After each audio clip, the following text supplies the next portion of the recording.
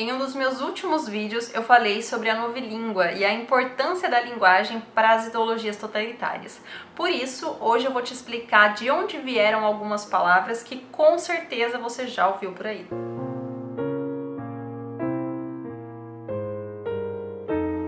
Sem enrolação, vamos direto para o conteúdo do vídeo e eu quero começar te explicando o básico, da onde surgiu a palavra feminismo. O mistério começa quando iniciamos as pesquisas e percebemos que a maioria dos sites de etimologia nem tem essa palavra. Alguns poucos sites que têm a palavra feminismo não apresentam quem foi que usou essa palavra pela primeira vez, nos dão apenas aquele significado pronto que a gente está careca de saber. Mas vejam só o que eu encontrei, é uma, uma coisa que fica meio nas entrelinhas, quem está atento percebe. No dicionário Michaelis diz que Feminismo também significa a presença de caracteres femininos no homem, ou seja, parece que o feminismo tem um significado além daquela narrativa de direitos iguais que a gente tanto escuta por aí. E pesquisando sobre isso, eu encontrei sites e artigos das próprias feministas confessando que essa é a origem da palavra. Vejam só, em 1871 foi escrita uma tese médica chamada Sobre o Feminismo e o Infantilismo na Tuberculose pelo médico Ferdinand Valéry Ferneu de Lacour. O médico afirmava que os homens doentes de tuberculose tinham traços infantis e feministas, como o cabelo fino, os cílios longos, a pele macia e branca, barba rala, órgãos genitais pequenos e mamas volumosas. E é por esse motivo que não vemos autoras como Mary Wollstonecraft utilizando a palavra feminismo. Mary escreveu um livro muito famoso chamado Reivindicação pelos Direitos da Mulher em 1792 e com certeza ela defendia ideais bem feministas, mas ela não utiliza essa palavra, porque o termo sequer tinha sido inventado. Foi apenas em 1871 que o médico utilizou a palavra pela primeira vez e como acabamos de ver, ela representava uma patologia e assim permaneceu por muito tempo até que as sufragistas começaram a transformar o significado dessa palavra em algo mais bonitinho e digamos que fantasioso. Mas a minha sugestão é que você não se permita enganar com esse significado atual que estão sempre nos contando e procure investigar e saber mais a respeito desse tema. Por isso, já se inscreve no canal e ativa as notificações, porque eu tenho estudado bastante a respeito desse assunto e pretendo compartilhar tudinho aqui com vocês. Se você ainda não assistiu todos os vídeos da playlist Feminismo que eu tenho aqui, também já corre lá assistir, porque é um compilado de informações que podem te ajudar muito nesse início de aprendizado.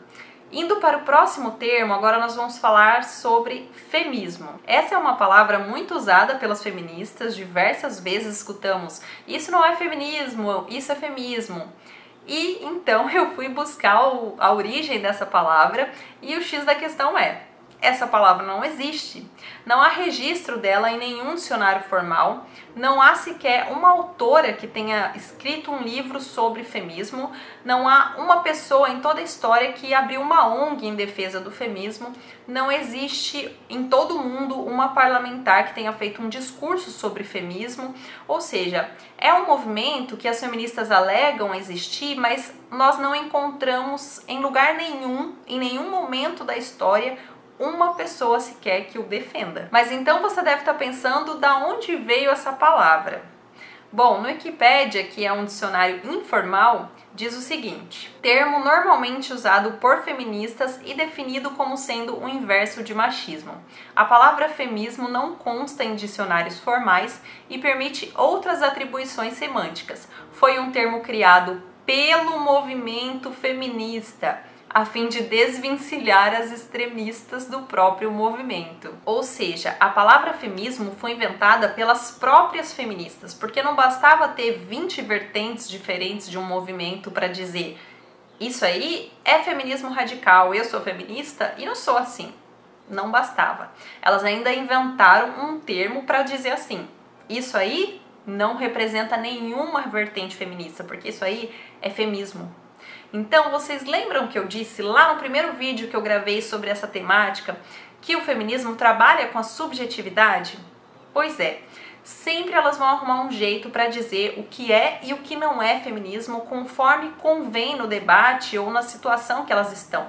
Dessa forma, elas conseguem se apropriar de tudo que aconteceu de bom no mundo e na história e dizer que aquilo era o verdadeiro feminismo. E tudo que é de ruim no mundo, ela diz: não, isso aí não era feminismo, ou era feminismo ou era machismo. Curiosamente, quando apontamos para as milhões de mortes provocadas pelo comunismo, costumamos ouvir dos seguidores de Marx: esse aí não é o verdadeiro comunismo. É, parece que qualquer semelhança não é mera coincidência. Agora vamos para a terceira e última palavra, que é bastante usada por pessoas de direita. Eu já ouvi várias vezes assim. Mas essas aí não são as verdadeiras feministas, essas aí são feministas. Bom, ao que se sabe, a palavra feminista foi utilizada pela primeira vez em 1989 por Tom Hasley. E depois ela foi popularizada em um talk show de rádio que era apresentado pelo conservador Rush Limbaugh. A palavra é uma junção de feminismo e nazismo. E diferente da palavra femismo, essa eu encontrei no dicionário e a sua definição é o seguinte: uma feminista extrema ou militante. Mas apesar do dicionário ter apresentado o significado e as pessoas no modo geral, eu acho que concordam com esse significado do dicionário, eu discordo e eu vou explicar o porquê.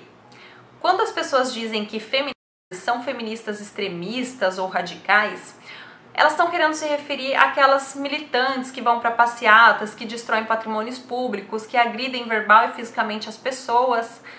Mas não é isso que é o nazismo. Se eu fosse resumir o que é o nazismo, eu creio que não poderia fugir de dois pontos o totalitarismo e a eugenia. E partindo desses dois pontos, nós percebemos que as semelhanças do nazismo com o feminismo não é apenas em relação às feministas extremistas, mas com o feminismo no modo geral. Veja, em uma sociedade onde impera o totalitarismo, as pessoas vivem com medo, elas estão em estado de vigilância constante porque elas sabem que não podem de forma alguma contrariar o seu ditador.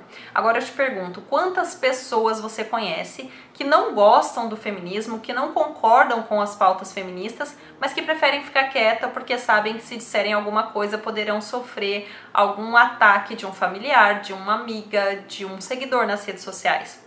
Eu mesma já fui essa pessoa que não concordava com muitas coisas do movimento e preferia ficar calada porque eu sabia que se eu dissesse o que eu penso eu seria massacrada. E a segunda característica muito forte no nazismo é a eugenia. Os nazistas acreditavam na superioridade da raça ariana e essa mentalidade os levavam a tentar eliminar as raças que eles consideravam parasíticas, usando a justificativa de que judeus, negros, homossexuais, deficientes, ciganos eram uma raça inferior, os nazistas assassinavam as pessoas sem dó e sem piedade. Agora me diz se você já não viu feminista defendendo o aborto para que as pessoas não nasçam na pobreza. Me diz se você já não viu feminista dizendo que precisamos liberar o aborto para que as mulheres negras tenham acesso. Me diz se você já não viu feminista dizendo que é melhor abortar feto que tem deficiência do que ele nascer e ficar em cima de uma cama e dar trabalho para as outras pessoas. Aliás, faz pouco tempo que o STF abriu uma votação para tentar legalizar o em casos de Zika vírus, porque os bebês podem nascer com uma formação. E as feministas foram eufóricas ficarem do lado do STF, que não só estava tentando legalizar a eugenia, como também estava sendo totalitário ao usurpar o papel do Congresso. Além dessas semelhanças óbvias que vemos entre feminismo e nazismo, podemos afirmar isso também quando olhamos para as líderes do movimento. Assim como Hitler, Simone de Beauvoir também considerava uma espécie de parasita alguns tipos de pessoas. Vejam o que ela diz no segundo volume do livro O Segundo Sexo sobre o bebê no ventre da sua mãe. Dia após dia, um pólipo nascido de sua carne e estranho à sua carne vai nascer nela.